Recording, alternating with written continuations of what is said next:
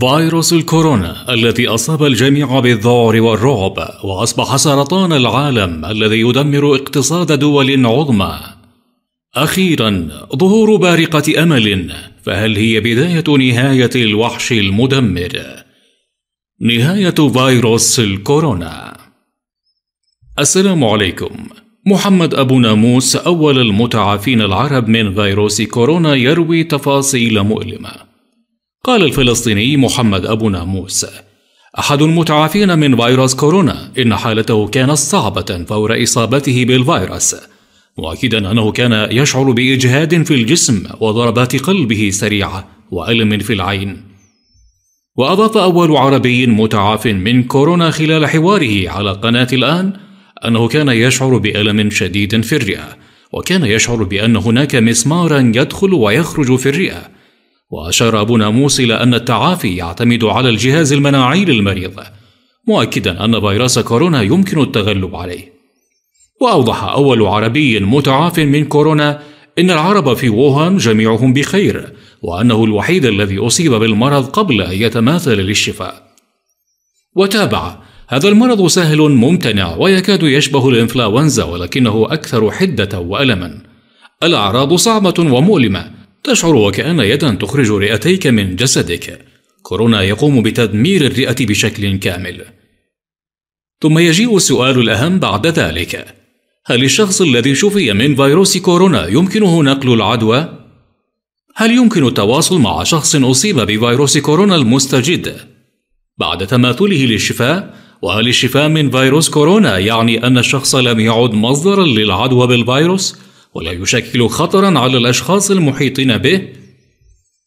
حسنا ما زال العلماء يحاولون فهم آلية انتشار الفيروس الذي ظهر بمدينة ووهان في الصين في ديسمبر كانون الأول الماضي وانتشر في عدة بلدان أخرى وتم تسجيل أكثر من 95 ألف حالة عالميا وأكثر من 3200 وفاة وتم إجراء العديد من الأبحاث منها دراسة صغيرة نشرت في مجلة الجمعية الطبية الأمريكية وشملت أربعة عمال طبيين تتراوح أعمارهم بين 30 و 36 عاما أصيبوا بفيروس كورونا وعولجوا في مستشفى تشونغان بجامعة ووهان في الصين.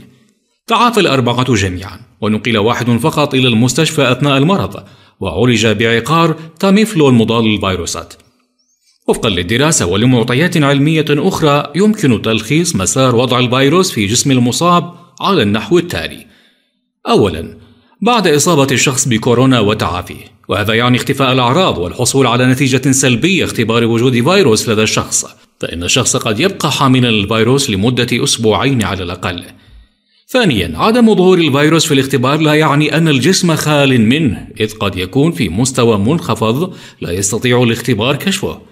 ثالثا وجود تركيز منخفض من الفيروس في الجسم يعني أنه قد لا يكون قادرا على أحداث ضرر في الخلايا ولذلك تختفي الأعراض. رابعا خلال فترة وجود الفيروس في جسم الشخص المتعافي فإن الشخص قد ينقله لشخص آخر. لكن هذا الاحتمال ضئيل لأن كمية الفيروسات في جسم المتعافي قليلة. ولأن الشخص لا يعاني من أعراض أي لا يعطس ولا يسعل وبالتالي تقل احتمالية نشره الرذاذ الذي قد يحمل الفيروس. خامسا مع ذلك فإن الشخص المتعافي حديثا من الفيروس قد ينقل الفيروس لشخص آخر إذا اختلط معه بصورة لصيقة مثل مشاركة المشروبات والأطعمة. سادسا العلماء ما زالوا يبحثون حول إذا كان ممكنا بعد مرور الأسبوع أو أسبوعين أن يرتفع مستوى فيروس كورونا لدى الشخص المتعافي في الدم أو الرئتين إلى تركيز أعلى بحيث يمكنه نقل الفيروس إلى الأشخاص المحيطين بسهولة سابعا من الممكن أن يصاب الشخص المتعافي من كورونا بالفيروس مرة أخرى بعد شفائه. وذلك وفقا لصحيفة نيويورك تايمز حيث أفادت الحكومة اليابانية بأن امرأة في مدينة أوساكا جاءت النتائج لتؤكد إصابتها بفيروس كورونا للمرة الثانية بعد أسابيع من تعافيها من العدوى وخروجها من أحد المستشفيات. وبدت على المرأة اليابانية في أول الأمر أعراض إصابة خفيفة بفيروس كورونا وخضعت في أواخر يناير كانون الثاني الماضي للفحص الطبي وجاءت النتيجة إيجابية وخرجت من المستشفى في الأول من فبراير شباط الماضي. بيد أن فحصا جديدا خضعت له لاحقا عندما جاءت إلى المستشفى شاكية من التهاب في الحلق وألم في الظهر أثبت أن الإصابة بفيروس كورونا عاودتها مرة أخرى. ويقول فلوريان جرامر عالم الفيروسات بمدرسة طب ماونت سيناي إنه من غير المحتمل أن تتكرر الإصابة بالعدوى خلال فترة قصيرة لكنه مع ذلك لا يستبعد تجددها مرة أخرى ويضيف أنه حتى في أخف حالات الإصابة فإن الشخص الذي تعافى سيتمتع بحصانة ضد الفيروس لفترة قصيرة من الزمن على الأقل. الخلاصة: إذا كنت تعرف شخصا أصيب بفيروس كورونا وتعافى منه، فيجب استشارة الطبيب أولا لمعرفة الإجراءات التي يوصي بها، ويجب تلافي الاتصال الوثيق بالشخص الذي تعافى، مثل عدم مشاركة الطعام والشراب. أيضا بالنسبة للشخص الذي تعافى من كورونا، فيجب الالتزام بإرشادات الطبيب وإرشادات النظافة الشخصية مثل غسل اليدين وتغطية الفم والأنف أثناء العطاس والسعال وعدم استعمال الأدوات غير الشخصية من ملابس وفراش وأدوات طعام. معطيات جديدة.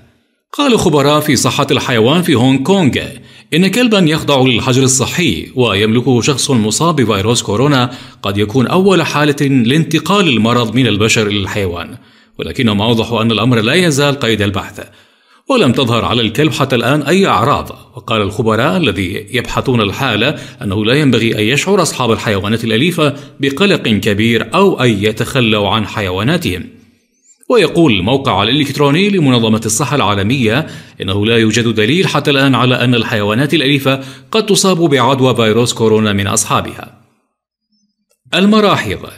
كما أظهرت دراسة حديثة أن المصابين بفيروس كورونا يلوثون غرف نومهم وحماماتهم بشكل كبير مما يظهر الحاجة إلى تنظيف الأسطح مثل أحواض غسل اليدين والمراحيض بانتظام. ويمكن القضاء على الفيروس من خلال تنظيف الأسطح الملوثة بمطهر مرتين في اليوم كما خلصت الدراسة التي نشرت في مجلة جاما. وبدأت الدراسة التي أجراها باحثون من المركز الوطني للأمراض المعدية في سنغافورة ومختبرات دي إس أو الوطنية بعد تفشي فيروس كورونا في بعض المستشفيات الصينية ودفع الأمر العلماء إلى الاعتقاد بأنه إضافة إلى السعال فإن التلوث البيئي كان عاملا مهما في انتقال المرض. السلام عليكم ورحمة الله تعالى وبركاته. مرحبا بكم مشاهدينا الأكارم. معكم أخيكم في الله أيمن صابر من قناة معلومة. أحببت في خاتمة ذلك الفيديو أن أوصيكم وأوصي نفسي بتقوى الله والصلاة والسلام على رسول الله صلى الله عليه وعلى آله وصحبه وسلم. كنا دائما نقرأ أو نسمع في دروسنا الماضية كلمة ما هو المستفاد من ذلك الدرس? وكذلك سوف أقول لكم هل أضاف إليكم ذلك الفيديو جديد أو معلومة جديدة؟ إن أضاف إليكم فالحمد لله والشكر لله. وإن لم يضيف إليكم أي شيء جديد فكفانا فقط شرفا وجودكم معنا. وكذلك نرجو أن نسعد بوجودكم في الفيديو القادم. كان معكم أخيكم في الله أيمن صابر. أستودعكم الرحمن. السلام عليكم ورحمة الله تعالى وبركاته. إلى هنا انتهى الفيديو ولكن لا تنسى الإعجاب والاشتراك في القناة ليصلك كل جديد. عزيزي المشاهد قبل أن ترحل يجب أن تعرف أننا عائلتك الثانية التي تسعى دائما لتوفير كل المعلومات الدينية والثقافية القيمة والصحيحة. فنحن نسعى جاهدين هنا في قناة معلومة أن نبحث جيدا عن أصل المعلومة ومدى صحتها ونقدمها لك بشكل بسيط ومفصل. وندعوك عزيزي المشاهد لمشاهدة المزيد من الفيديوهات على قناة معلومة.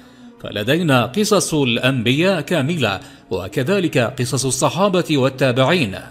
قصص تحكي تفاصيل حياتهم وما تعرضوا له من مواقف قاسية لنأخذ منها العظة والعبرة. وكذلك كل المعلومات التي تحتاج أن تعرفها عن الرسول الكريم صلى الله عليه وعلى آله وصحبه وسلم.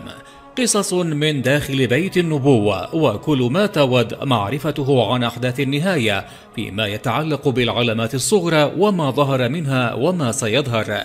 وكذلك العلامات الكبرى من ظهور الشمس من مغربها وقصة أجوج ومأجوج والمسيح الدجال وما سيحدث بالتفصيل يوم القيامة. وأيضا كذلك نعرض عليكم أهوال يوم القيامة من أحداث الصراط المستقيم والعرض والنشر وغيرها من الحقائق والعلامات. كل ذلك من خلال قناتكم قناة معلومة. كل ما عليك الآن هو الاشتراك في القناة والدخول إلى صفحة القناة للتمتع بمزيد من الفيديوهات القيمة. لا تنسوا تنشيط علامة الجرس. تقبلوا تحيات أخيكم في الله. أيمن صابر.